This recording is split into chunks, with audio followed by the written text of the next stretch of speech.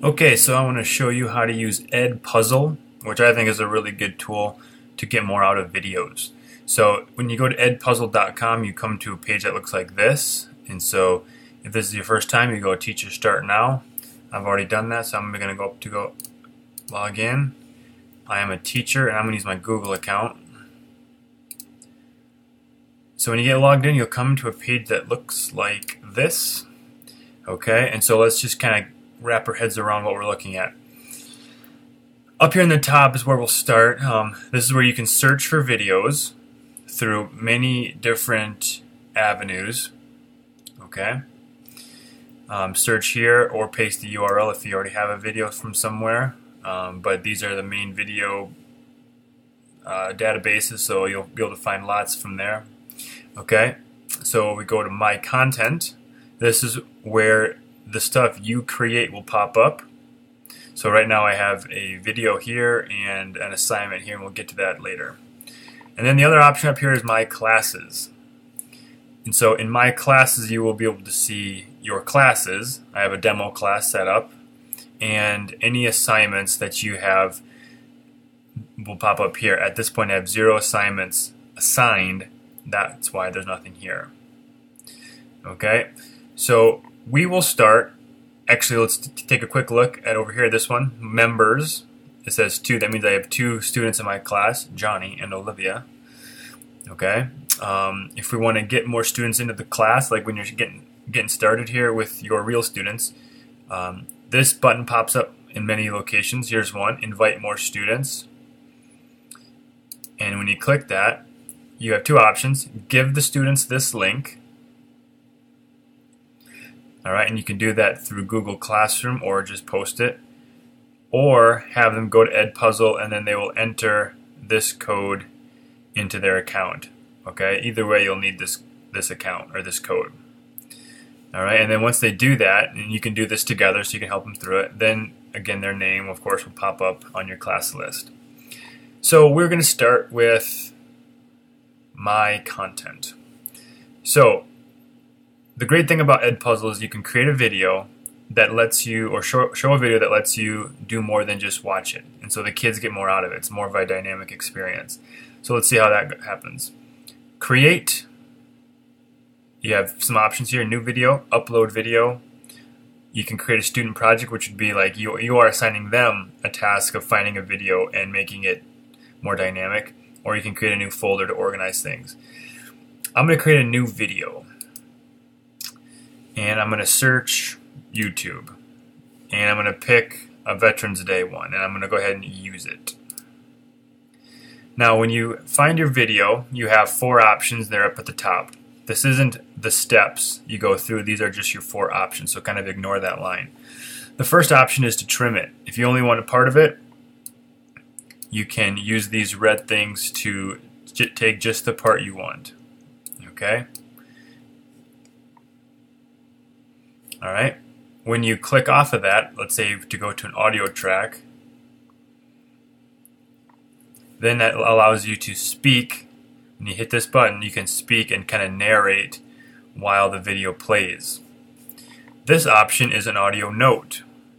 So when the video is playing, if you add a video note, I don't know, we'll see that, we'll, we'll watch that process. Subscribe right? to our channel looking at history and understand it. So if I want to come from. if I want to put a audio note, I'm going to click here.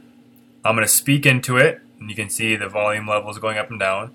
Stop, and when the video gets to this point, it'll pause, and the viewer will listen to your audio note. Here, I'm going to speak into it. And you can okay. see the volume level there we go. up and down. Allows today. Now, the other option uh, is, a, is a really good option that is asking questions. Takes a minute for the voice, but the question option is a good one.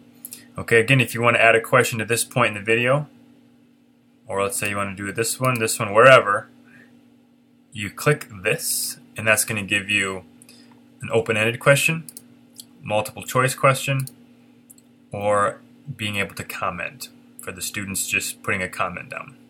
Like, what do you think about this part? That type of thing. Okay, so let's do a question.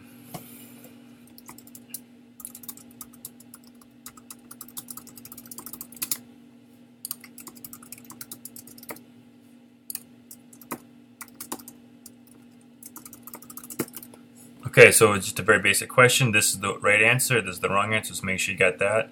You can add answers if you want um, but we're going to save that, and that's going to insert the question into the video. So we can go continue. Or what they call the Great War. And the video continues. Our troops had to be honored. One other question. Again, wherever you want a question, just stop it there and hit question, and you're going to get your options back up. Okay? So those are options as far as building a video experience. When you are done, you're going to go finish. And you have some options here, and we, we can take a look at this again another spot, but you will assign it to the class. This one's getting assigned to demo class. You can give it a due date. You can prevent them from skipping ahead, so they have to watch the entire video. Okay, so you can assign it or you can share it with anyone with this link here. Alright, now if you give them this link or if you embed it into your website, they can do everything that you set up except you just won't get individual results, but they can still utilize the video experience. Okay, when you assign it, like I'm going to, that's going to give the student an assignment essentially, and then you can track to see how they're doing. So now in my my class area, there's a, a, a the uh, assignment that pops up, and it is the Veterans Day video. All right, zero percent of the class has completed it. Let's take a look at what this means. Progress. So in my progress, Johnny and Olivia watched it. Nope, um, they have not watched it yet. To look at the questions, successful students. Okay, so we don't really have any data. So let's just go back to students, and then let's go back again so we can just see this area. All right, see here's another example of this button popping up to add more students or to add students. Okay, now let's go to a, the student view. So here is now the student view. This is Olivia's account, and we're going to see if there is any assignments.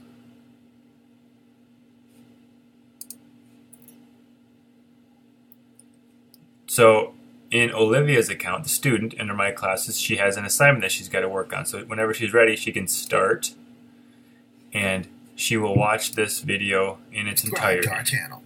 You can see Looking how at history I can't skip forward we have come because from. here I'm going to speak into it. And you can see the volume levels going up and down. Song allows us to prepare I for can't skip forward because that is why I take locked time out to talk to you about history and culture here in America. Today, I'm talking about the celebration of Veterans Day. Now, the So we'll just wait till we get to the question and then we'll move on. In the military, needed to be honored, and this is where Veterans Day came from, taking you back in history. Although we celebrate Veterans Day today, it wasn't always called Veterans Day. Back in those times when it first came about, it came at the end of World War One. So the student answers the question, submit, and continue. or what they call the Great War. Okay, let's go back to teacher view and let's um, see the progress.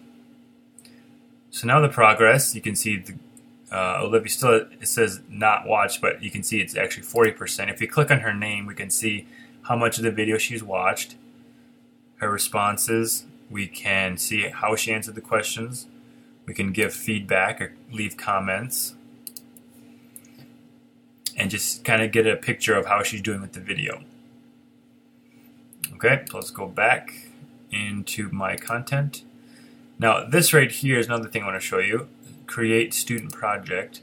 So for this one, we give a subject, the goal, the instructions, and then we save the project. So let's take a look at how this works. The subject we'll say is ancient Egypt. The goal is to learn learn about the Nile River. Find a video that explains the Nile River. That should be capitalized. Good enough. So we're going to save that project and we're going to assign it and we're going to give it a due date. Similar to what we've done before. We're assigning it to our demo class and we're going to send it. So now the student has a project that they have to go find a video and add audio, add questions, things like that. So let's go over here and take a look at the student student view. They have a project now that's assigned. and they're going to start the project. They get the goal, the instructions, and then we can go ahead and go start. And now they have to search and find a video about the Nile River, and they can use the features that we just went through. All right, and same thing for this. Progress shows you if they've submitted it. Obviously, neither one have submitted, but you can see and watch and uh, check out their video project.